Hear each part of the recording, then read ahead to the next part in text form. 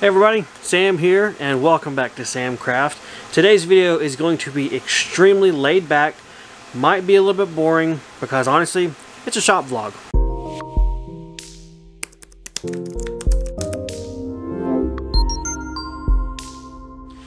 So I'm down at my workshop today and just for kind of reality reference sake, today is Tuesday, January 18th, 2022. I live in the eastern part of the U.S. and we had a fresh dumping of snow all over us um, a couple of days ago. It's still here, so that has totally halted any work on the new workshop build. So if you're following along with the channel real time, you'll be seeing workshop build and then plop, this video pops up. So as such, this is going to be extremely laid back. I mean, not the normal okay, okay, high quality you're used to from the channel. This is um, me down in my workshop today doing some various stuff and honestly thought I'd bring you guys along to chat virtually one way and let you guys know what's going on and share some thoughts and ideas.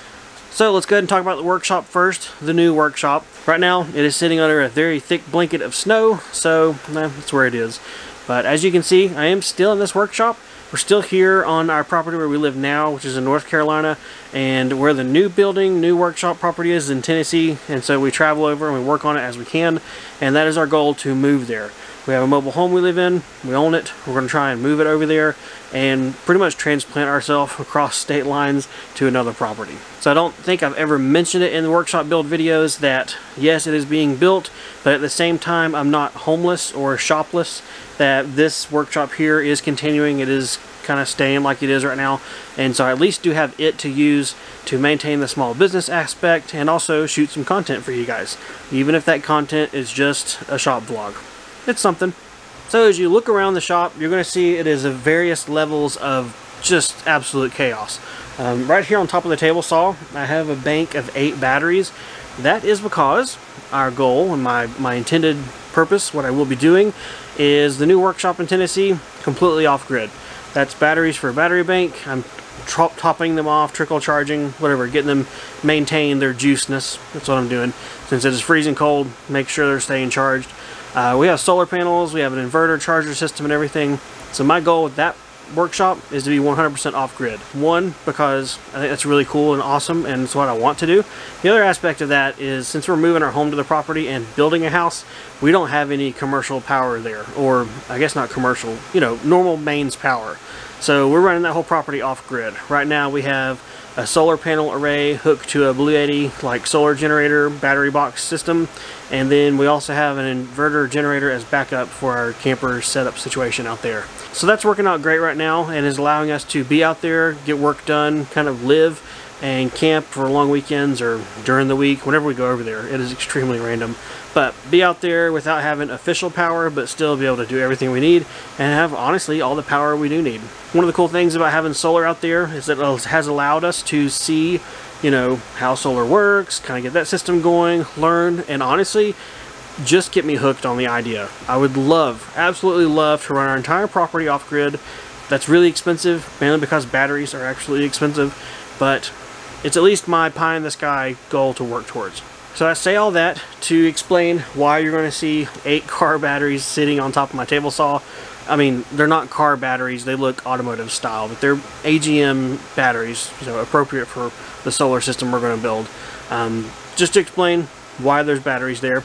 Uh, we're working with a company called Langston's Alternative Power. He's helping us get the system and get things set up the way we can, monetary wise, and kind of stair step into it but also just answer our questions and everything of the sort. So if you're interested in that kind of stuff, I'll leave a link to his business down below just if you want to talk to him and get some ideas and see what kind of system he can get for you.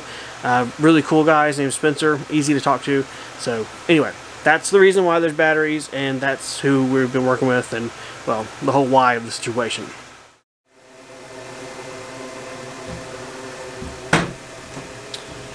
So if you follow me on Instagram, and this is by no means a, hey, go follow me. I'm not good at Instagram at all. But if you follow me over there, you'll have seen that I've been mentioning new things about a new laser in the workshop. Um, I am testing out a new one. It is the Genmitsu Jinsoku LC-60A. It is another diode laser, but this one is very different in basically two realms, I guess. Um, one, it is huge. It is giant. It is like 30 by 30 inches. Big boy. And, okay, format big boy. It's still a diode. Um, the other thing that is different is it is sold from the manufacturer, straight out of the box, air assist, built-in pump, everything. It's complete turnkey. So I'm putting it to the test, seeing is it truly a laser cutter? Is it a cutter straight from the manufacturer? And is it something that might be cool for others who are looking to get into diode lasers that, you know, keep hearing about air assist but don't really know what pieces you need? And it looks like this is the first manufacturer to give you everything in a box as a kit all together. So very cool. Uh, preliminary results I'll show you in just a second. I'll also talk about the other thing I'll show you. Um, but I went down this segue rabbit hole to just tell you that you see other lasers, but the Ortur is still here. The Ortur is honestly the workhorse of my business and the workhorse of the shop. It's not because I'm a 100% Ortur fanboy. Honestly, it's just the laser that I have that does the best for me. It's large enough format. I can throw 12 coasters on here at once since drink coasters are the number one thing that I do make that's there. And it's also dialed in and set up for my utensils that I engrave as well. Over here you'll see the Genmitsu LE-1620. That little guy, still great, rocks and rolls, no problem with that. I just don't tend to use it for my small workshop production because it only does two coasters at a time. And when I can plop and drop four or 12, that's just faster from a production standpoint. But still is over there, works great, no complaints at all with that laser. So, okay. So there's laser talk, I guess. Since I mentioned it, I'll go ahead and show you guys the Genmitsu Jinsoku LC-60A. Uh, their model numbers are amazing that I can get them out of my head into the camera microphone. But as you see here, it is a monster diode laser. Again, mostly in form footprint, not the actual laser diode itself. Uh, it's sitting here on top of my Shapeoko Pro CNC, which yeah, well, it is what it is, and you know, whatever. And also you'll see here, it has the air pump to the left, so that is awesome, and it comes pre-plumbed and tubed and everything for air assist. That air assist nozzle is solid brass, and it is very, very cool. So far, that laser is doing great. It is living up to its expectations so far, which is awesome. I'm still running through a bunch of test files and cuts and everything, and honestly, just using it for a while before I ever make an official video for you guys. So there's a look at the LC60A. Like I said, there will be a video out on it later whenever I've had more time to get to know it. Um, what you saw on the bed there was one of several test file cut files that I've created. Um, for as far as like getting to know a machine, getting to dial in your settings, I've not found anything out in the world that I really like. So I just designed my own. It also is a way for me to offer it for you guys if you want to just buy and run files and stuff and save a lot of time. So that's one that you saw there. Um, another one I've got set up is for cutting laser or leather. So here's a look at the leather.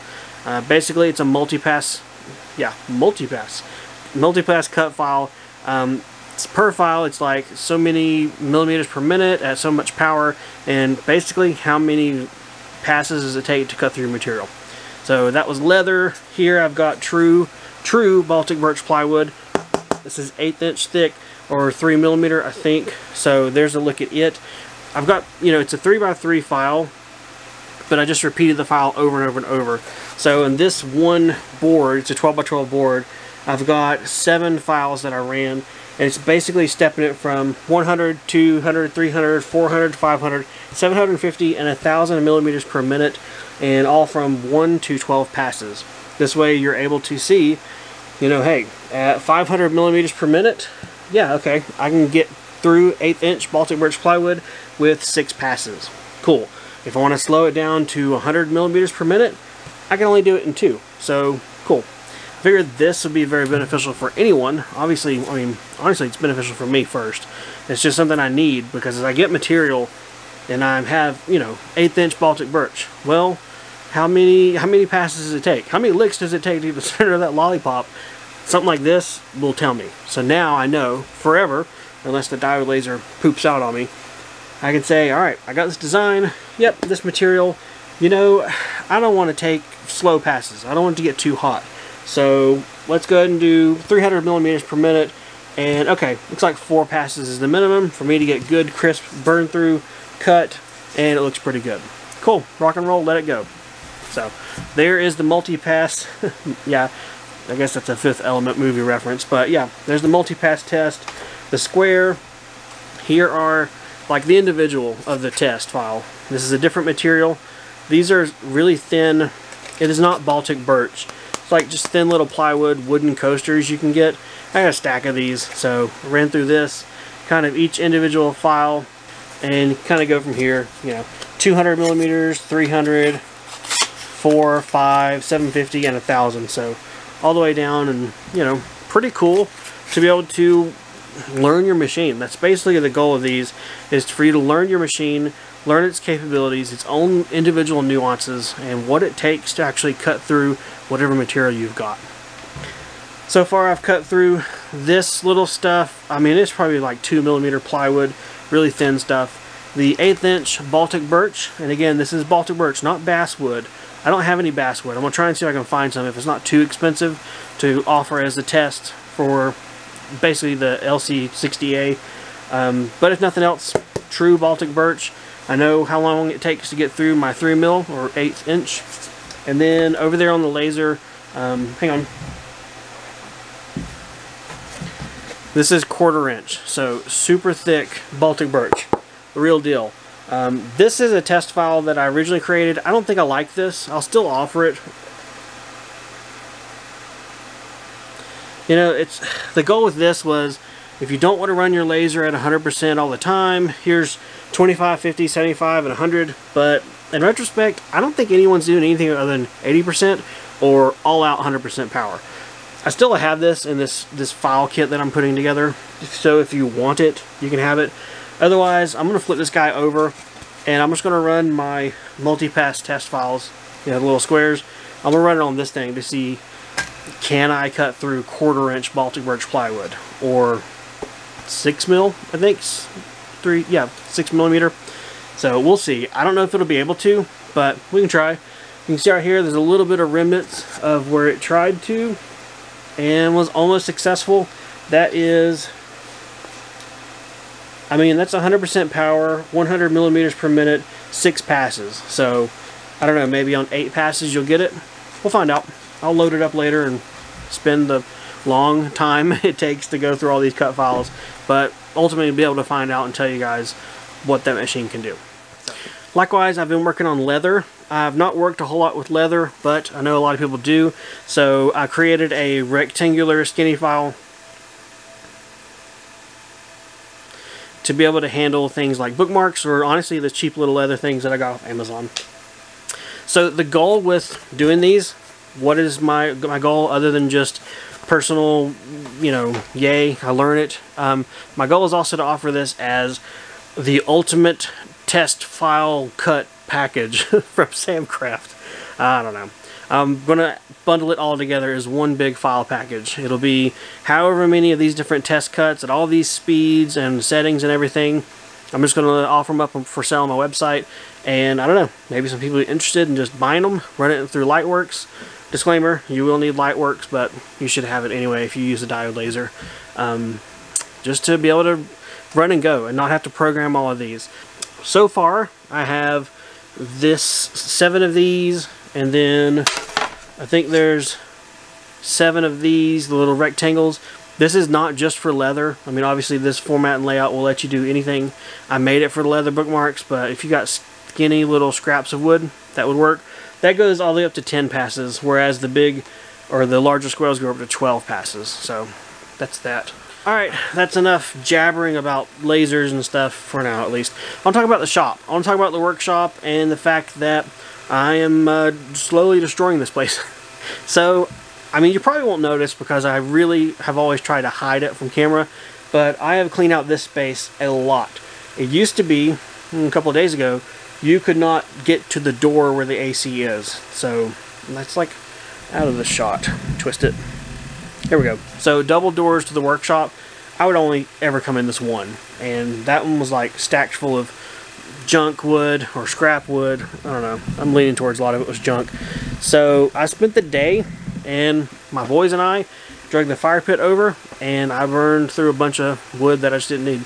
It wasn't good stuff. It was just things that I kept for whatever reason. So I'm just trying to downsize and prepare for the shop move. I've got to kind of fight my hoarding bug that probably a lot of us struggle with as far as workshop and, you know, ooh, it's wood. I got to keep it. I could use it for something. I got to kind of fight that with this because I'm to have to move all this stuff over.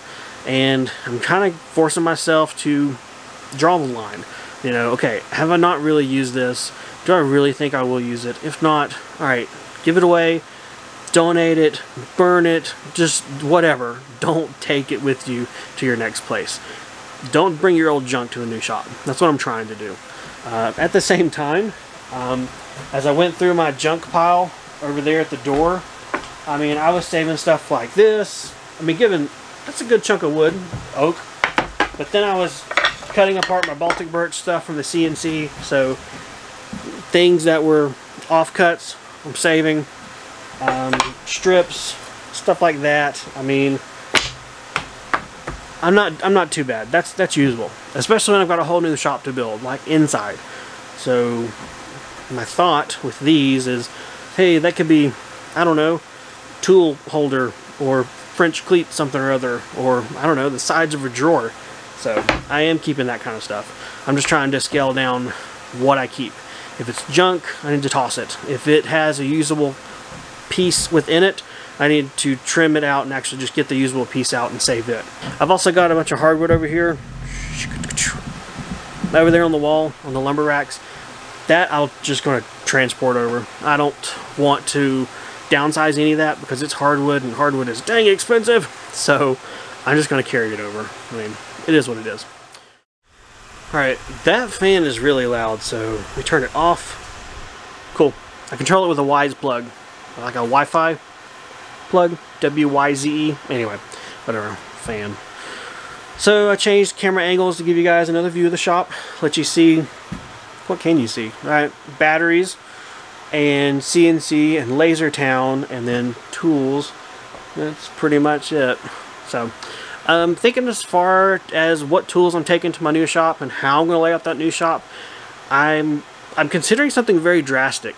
I'm considering something that I hope doesn't come back and bite me in the butt, but I don't know. What I'm considering is not taking my table saw. Thinking about selling it. Thinking about selling the table saw router thing all together as one. Mainly because it's a big saw. It is, you know, cast iron top. I don't know if it's a hybrid. It's probably a contractor, whatever. It's a 10 inch Ridgid table saw. I don't need one that big. The style of woodworking that I do I've never used a table saw like it needs to be used. Anytime I've broken down large sheet goods, I've thrown down my circular saw and used it. Anytime I've I don't I don't I don't do dados. I don't cut dados. I don't do any kind of fancy joinery. I don't do box joints. And if I did, mm, I'll be tempted to use a CNC. I don't know.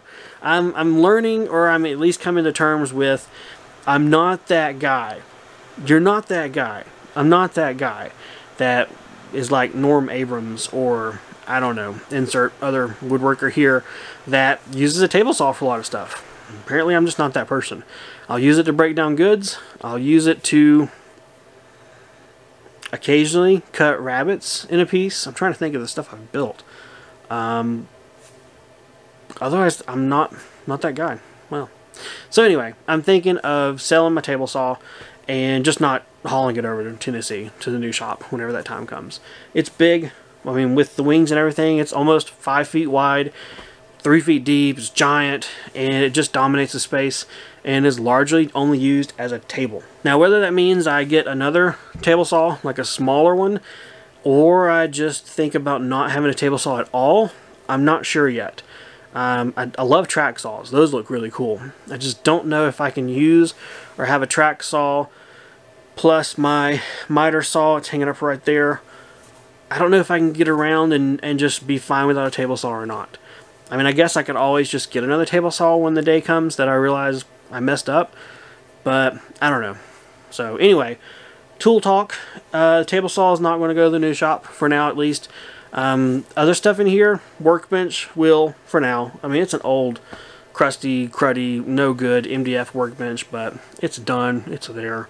I'll probably haul it over. Obviously, CNC table, CNC dust collection, laser, and its little table. Yeah, probably will go. And the lathe, which is in the corner. Um, small little lathe. It's a Nova Comet, like, small lathe. So, that'll go.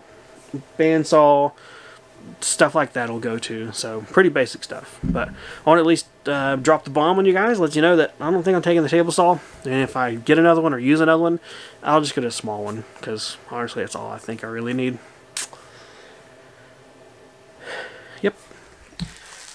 You guys want to see the reality of Sam's shop behind the scenes and when there's no normal camera running? Uh, yeah, packing up custom order here on top of the scrap plywood pile I'm trying to hoard. I'm just doing like probably anybody else would do. Fulfilling a customer order while I'm down here making a mess of things. That's what I do. Um, so, when do I think I'll move into my new workshop? I don't know. I don't know. Uh, right now it's still just a dry shell. The siding is put on and the roof underlayment is on so it's water tight or weather tight, I guess, but it's not done. Um, I need to figure out what I'm doing about roofing. I priced and got quotes from two different companies on the metal roof, and it's going to be a lot. Like, oh my gosh, a lot. So I don't know if I'm doing metal roofing or shingles yet. So I got a little bit of time to figure that out. That synthetic underlayment is really good, and I'm not worried about it deteriorating or falling apart in the sun or anything while I figure out what I'm doing. So shingles is not going to be a whole lot cheaper than metal roofing, so I may just bite the bullet and do metal, but I was really surprised at the cost. Outside of the roofing, I also need to paint it, I need to put my trim on and paint the trim, uh, build the door, attach it and all of that, and basically finish the shell of the workshop. After that, I then will move on to the inside. Uh, I'm going to be wiring it up and everything, of course. My goal is to have it finished like this shop is mostly finished. Um, the hard part, or the tricky part with that, is I'm going to get to a point where I'm going to have to start pulling this current workshop apart to help finish out the other. The cost of wiring is outrageous. The cost of any kind of material to build something is outrageous. And seeing as this workshop, I can't take it with us, we do own it, I'm going to reuse everything I need out of it. So I'm going to be pulling out the sub panel, the wire runs, I'll probably pull them out of the shop, pull the paneling down, stuff like that. So I'm kind of really dreading that. I wish that things were super cheap and I didn't have to scavenge myself because that's going to make a really awkward place for doing videos in that meantime of you know, I'm trying to build the other place, but I'm still here to use this shop for videos and stuff. So I don't look forward to that because my shops will be tore apart and then we're going to be moving at the same time. And uh, we just, uh, as a family as a whole, we're not super excited and eager to take the next step, which is really to make yourself homeless, live in a camper for a while, make yourself shopless, and spread yourself across two states. But, oh well, it is what it is. We do want to move. We are choosing to move. We want to do that. So, it's just, you know, suck it up, Buttercup. Well, guys, I think that's probably going to be it for the shop vlog because, well, I'm kind of done working down here for the day. But I did at least want to shoot a quick video, um, although it's probably not super quick, but whatever. I wanted to give you guys a real-life update. You know, what's going on here behind the scenes and between the videos of building the workshop and kind of what are my thoughts, ideas, and overall plan for what's going on. I uh, don't have a really great plan, mainly because I'm trying to keep this one shop alive while I build another, but not spend so much money to just duplicate and replicate everything. So, either way, if I didn't cover anything that you were kind of hoping I would, or if I glazed over something or was really, really confusing about a part, feel free to ask me down below. Leave me a comment. I'm pretty transparent, pretty open, and I'm not trying to hide anything at all. So, it is what it is, and that's just how it is. So otherwise, hopefully you guys are enjoying the workshop build series.